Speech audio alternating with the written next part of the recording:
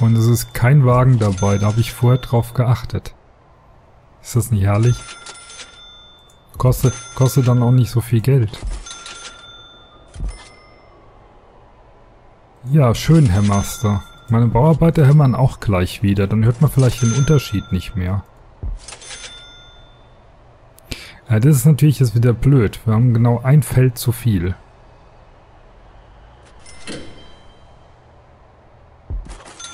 Aber wisst ihr was? Das nutzen wir. Da machen wir Holding Cell hin. Passt. So, wir sind ja mittlerweile positiv gestimmte Menschen. Wir lassen uns nicht mehr so schnell aus der Ruhe bringen.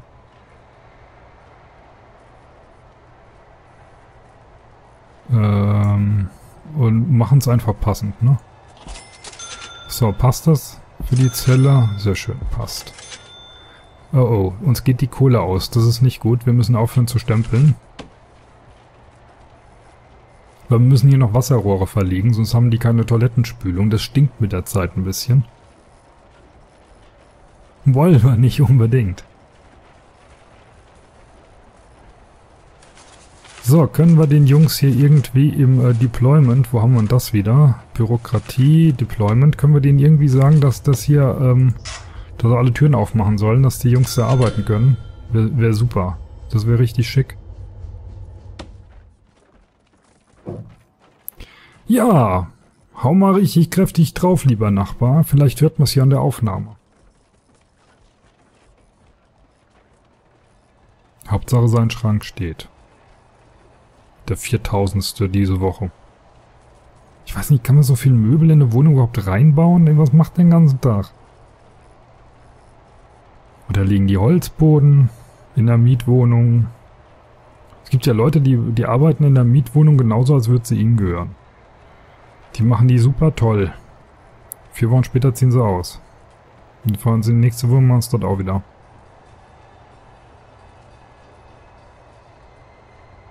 Ja, wenn einer als Hobby halt Heimwerkern hat, dann hat er halt Heimwerkern als Hobby. Ich meine, was willst du tun, ne? Es ist, wie es ist. Ich will denen ja auch ihr Hobby nicht, nicht irgendwie vermiesen. Ich will nur nicht durch den ihr Hobby gestört werden.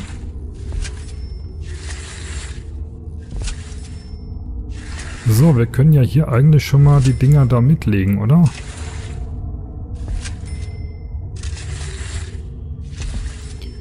die Rohre sozusagen für die Toiletten, die es noch nicht gibt.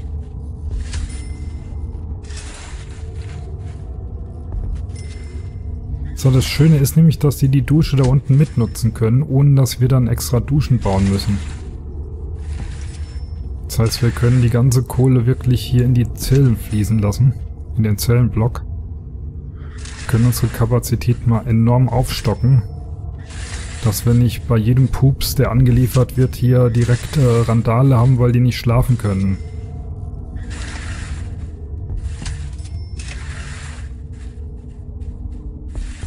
Komm her. Und dann mal gucken, was die Needs, was die für ein Problem haben, die Jungs. Weil die Needs gehen leicht hoch. Ja gut, wird ja alles schon wieder abgebaut. Pass, pass, pass, pass, pass. Ist schon wieder weg. Alles supi. Alles supi. So, jetzt runter zum Essen, Freunde. Ah ne, haben Freetime. Ja, manche gehen da nochmal auf Toilette, andere legen sich da nochmal hin. Wieso pennten der da noch? War der nicht duschen oder ist er schon wieder zurück?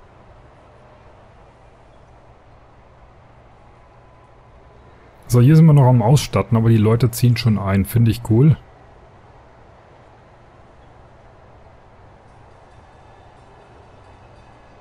Was mir hier ein bisschen Sorgen macht, ist, äh, ich habe irgendwie so den Eindruck, die Küche kommt nicht hinterher. Die schaffen das irgendwie nicht ganz, habe ich so den Eindruck, dass alle Leute satt werden.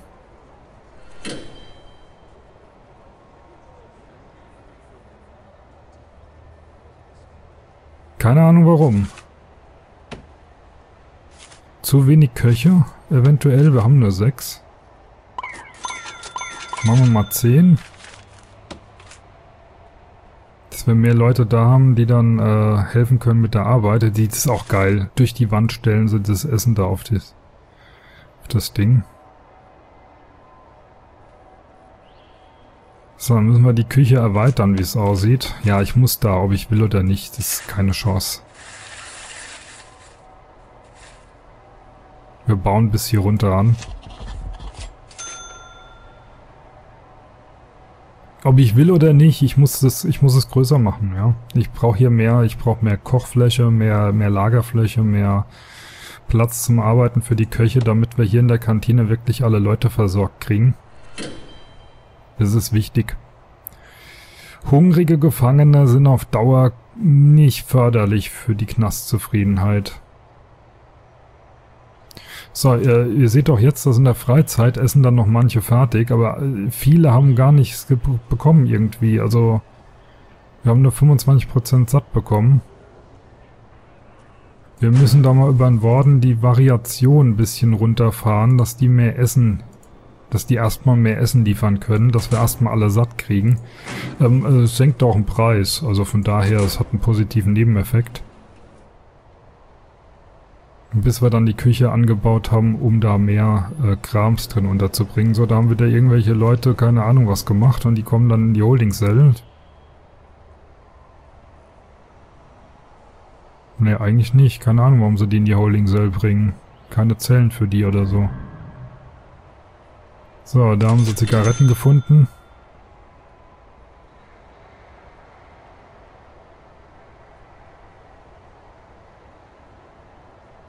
bin gerade am überlegen, ob wir die Küche hier sogar noch erweitern können. Wird vielleicht sogar Sinn machen.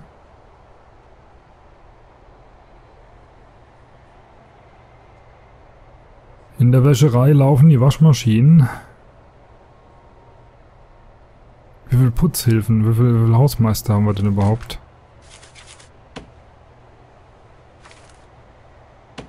Acht. So, wir machen nochmal plus 4. Hier sitzen äh, übrigens Gefangene, die machen da psychologischen Dienst oder so irgendwas. Bin gerade am gucken, wo ist denn da der, der Psychologe? Da läuft einer rum und macht Therapie. Und da? Wo ist der? Was treiben die ihn da? Nee. Da ist der Therapeut. Der geht in die... Wieso will denn der in die Holding Cell? Ist der abgehauen, weil er Schiss hatte vor dem oder so? Keine Ahnung. Ich es blickt eh keiner durch. So, wie sieht's hier oben aus? Was machen die Röhrchen? Hallo? Wieso blinkt da überall noch Wasser? weil hier ein Rohr fehlt. Es darf nicht wahr sein. Mama hin jetzt! Dass die Jungs eine Klospülung kriegen, das darf doch nie wahr sein. Nee, da fehlen... Lassen die da das Rohr weg.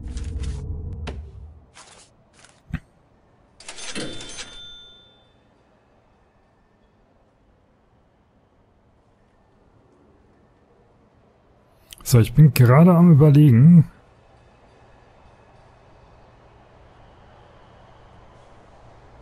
Die können sich in diesem Bereich hier, in diesem Bereich und in den Zellen aufhalten, ohne kontrolliert zu werden durch Metalldetektor. Nur wenn sie hier vorne rausgehen, hier hin und zurück, hier raus und zurück, hier rein und zurück, werden sie kontrolliert. In dem Bereich hier oben wird, der, werden die gar nicht kontrolliert. Da können die, also praktisch... Oh, da hat einer Non dabei. Ja, also die können praktisch, wenn, wenn hier einer irgendwie was äh, reingeschmuggelt bekommt, kann er das hier drin frei verteilen, verkaufen, machen und tun. So, Deployment. Guard Patrol. Hm, ich bin am überlegen, brauchen wir eigentlich nicht komplett die, machen wir mal so.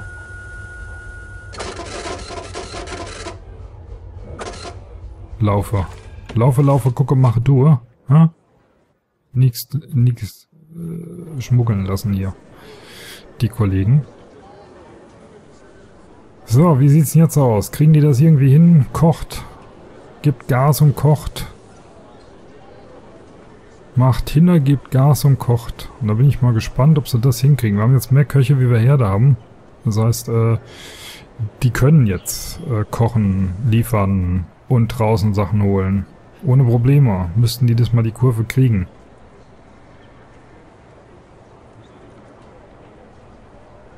Und die müssen jetzt auch mehr Lebensmittel produziert bekommen, aufgrund der Tatsache, dass es ja keine, keine Variation gibt. Es gibt ja nur Gemüse heute.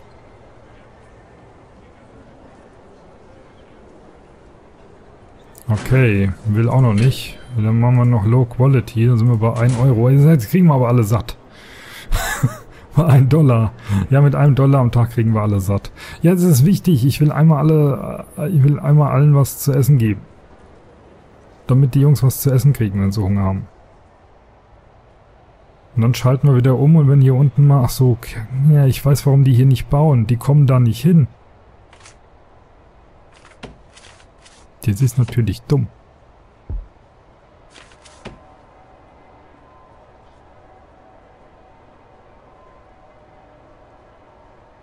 Jetzt haben wir für alle Gefangene was zu essen da. Für alle. Aufgrund der Tatsache, dass wir die äh, Gefangenen ein bisschen bescheißen, was das Essen angeht.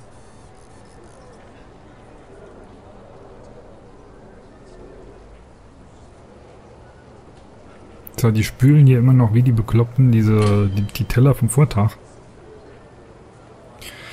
So, Essenszeit. Wir gucken mal. Oh, oh. Sag nicht, es gibt Stress, weil die das uncool finden, dass es so wenig Nahrungsvielfalt gibt. Nach dem Motto, ich habe mich heute auf Würstchen gefreut, jetzt gibt's eine Brokkoli, ich hau die auf die Fresse. So also denken die ja. Das sind ja die, die roten Kittel da,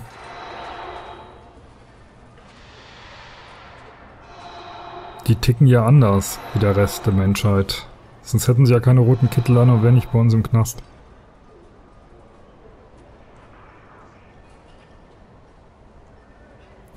So, aber es wird ein bisschen eng, oder? So manche sind jetzt mittlerweile mal alle da, oder kommen da immer noch welche gelatscht von da oben? Ja, holt euch was zu essen, Freunde. Geht durch und holt euch was zu essen. Ich, Sag mal, bin ich bescheuert? Jetzt hatte ich mal für alle Leute Essen da, die wollen es nicht. Die nehmen sich nichts, die stehen nur blöd rum und klotzen doof.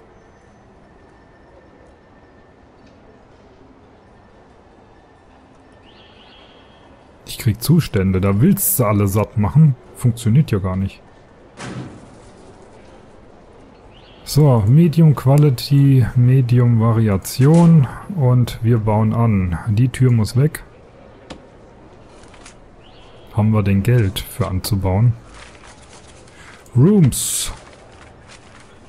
Kitchen.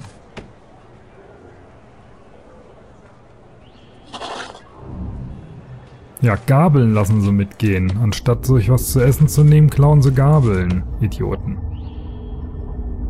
Hm.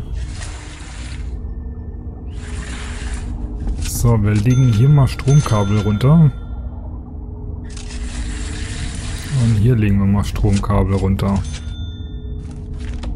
Und dann legen wir hier noch Wasser runter. Einfach nur so, Vorsorge, ne?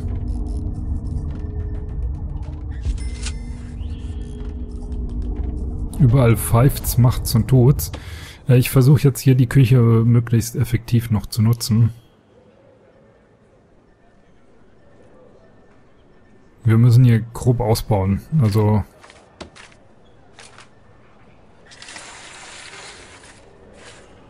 Kriege ich das finanziert? Gerade so. Auf den letzten Pfennig. Ich bin pleite. Der letzte Pfennig.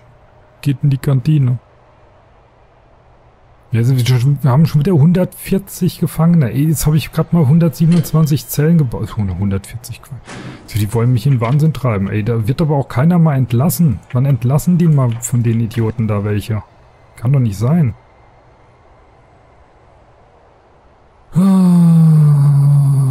Education Programm. Einen Klassenraum bauen.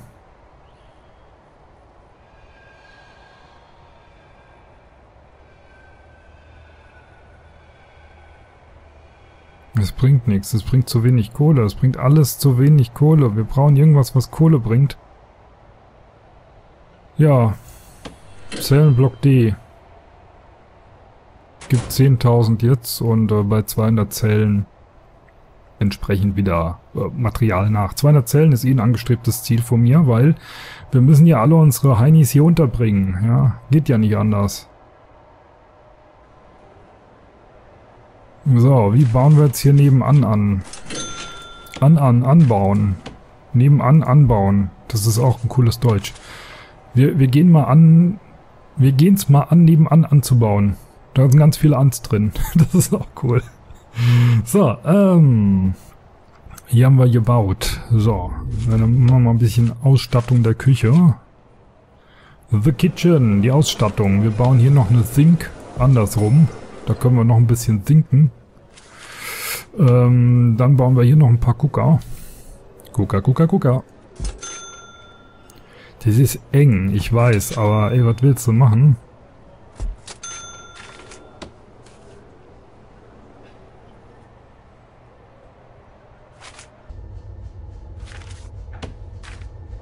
Stuff only. Gleich mal wieder reinhauen hier.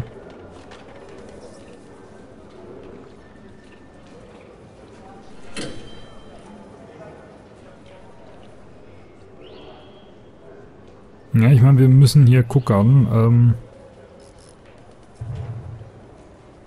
damit es mehr Essen gibt. Wir kriegen hier, wir kriegen massive Probleme, wenn die Jungs nichts zu essen kriegen. Die irgendwann, die, die treten uns die Bude kaputt. Ich meine, wir machen dreimal am Tag Essen. Irgendwann kriegt irgendwie jeder mal zu essen.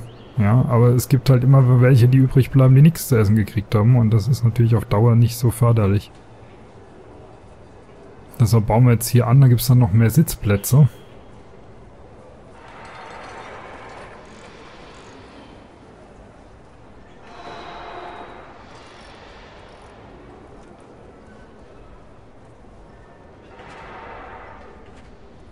Ich bin sogar am überlegen, ob wir die Tables hier anders stellen sollen, dass wir die hier hinstellen. In der Hoffnung, dass die da besser hinkommen, dass dann wirklich jeder was zu essen in die Hand nimmt.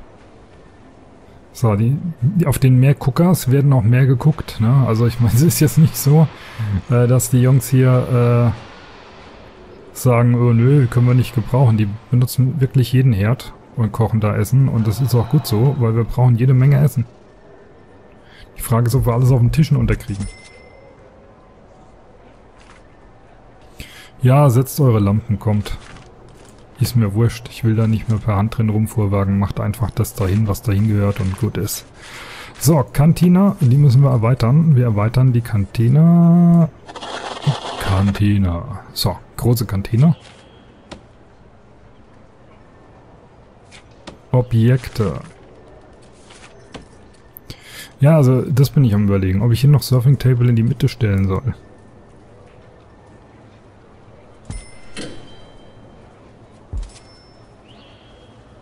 Ja, weil es, es hört sich vielleicht blöd an, aber ähm, ich habe so den Eindruck, die kommen nicht an die Surfing Table ran. Gescheit, wenn die hier reinkommen und ähm, kriegen deshalb nicht genug zu essen. Geht durch, durchgehen, durchgehen, durchgehen, durchgehen und was zu essen holen, bitte. Immer weitergehen, jeder nur ein Kreuz. Achso, nee, das war ein anderer Film.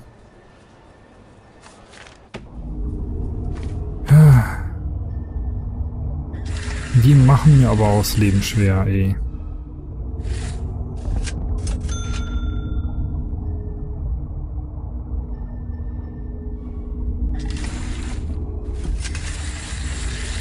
Ist wirklich nie einfach mit den Gefangenen hier. Come on, guys. Durchgehen, durchgehen, durchgehen. Holt euch was zu essen. Essen fassen. Bitte Essen fassen.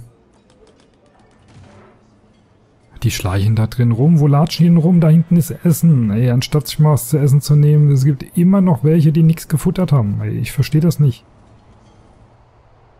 Sitzen die in Einzelhaft? Sind die tot? Sind die nicht mehr da? Ist das ein Bug? Werden die falsch mitgezählt? Haben die nicht gerafft, wo es was zu essen gibt? Ich will hier endlich mal eine gescheite Quote. Ich will endlich mal ein paar Leute satt kriegen hier. Aber irgendwie zählt das eh falsch, weil es sind über 50% grün und er sagt, wir haben 47% satt. Seltsame Rechnung, aber ist egal.